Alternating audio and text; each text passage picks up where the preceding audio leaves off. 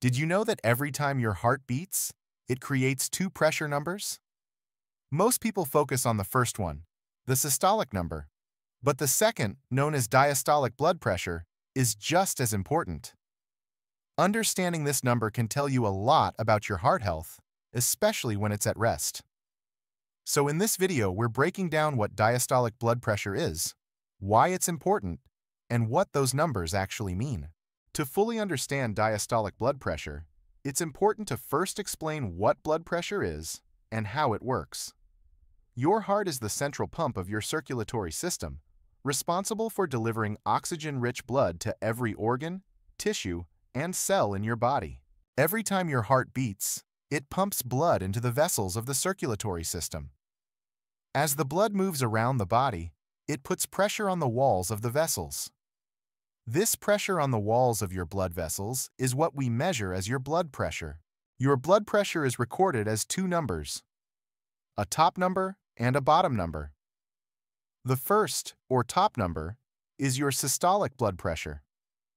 This number measures the pressure your blood puts on your artery walls when your heart beats. The second, or bottom number, is your diastolic blood pressure. This number measures the pressure on your artery walls when your heart is resting between beats, refilling with blood. Both readings are measured and recorded in millimeters of mercury. For people over 50, more focus is typically placed on systolic blood pressure as a major risk factor for cardiovascular disease. But it's important to note that either an elevated systolic or diastolic number can lead to a diagnosis of high blood pressure. Recent studies show that for people between 40 and 89 years old, every 10-point increase in diastolic blood pressure doubles the risk of dying from heart disease or stroke. So if your diastolic number is high, while your systolic number is normal, it means you're at a higher risk of developing high systolic pressure as you age. So, what do your diastolic numbers actually mean? When your diastolic number is below 80, and your systolic number is under 120, that's considered normal blood pressure, exactly where it should be. But if your diastolic number is below 80, while your systolic number is between 120 and 129, that's considered elevated blood pressure. This means you're at a higher risk of developing hypertension unless you take steps to manage it.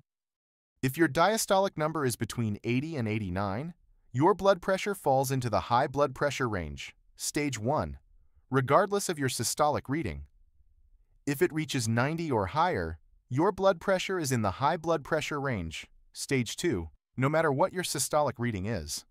This puts you at a significantly higher risk for heart disease, stroke, and other serious health problems. And if your diastolic number is higher than 120, then your blood pressure is in a hypertensive crisis, a critical situation that requires immediate medical attention. High diastolic blood pressure increases the risk of heart disease and stroke. It means there's more pressure in the arteries between heartbeats, which can limit oxygen flow to the heart.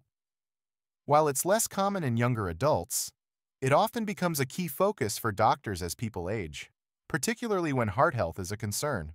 If you found this video helpful, give it a thumbs up, drop a comment below, and be sure to check out our next video if you're curious about what systolic blood pressure is and the risks associated with it. And don't forget to subscribe to Blood Pressure Healthcare for more expert tips on managing and maintaining healthy blood pressure.